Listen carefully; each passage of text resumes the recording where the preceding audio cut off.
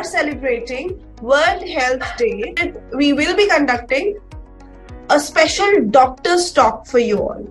So we are going to invite a doctor. She's, you know, she and she's going to update us about the current world health scenario because it's a global day. I tell you, it's not uh, only celebrated in India but globally.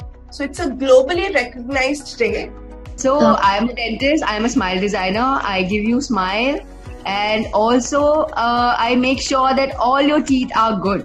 Right? They are good. They are healthy. Right? So we are celebrating World Health Day, and uh, giving good teeth having good oral hygiene is also something which is related to health, right? Because we are eating all the time. We have three meals, the major meals, breakfast, lunch and dinner, and we keep snacking in between. So it is very important for us to have good teeth, right? Do you all know what is the name of the guest? Uh, Zumba. Yeah, she's a Zumba instructor. Miss Sangeeta Chauhan.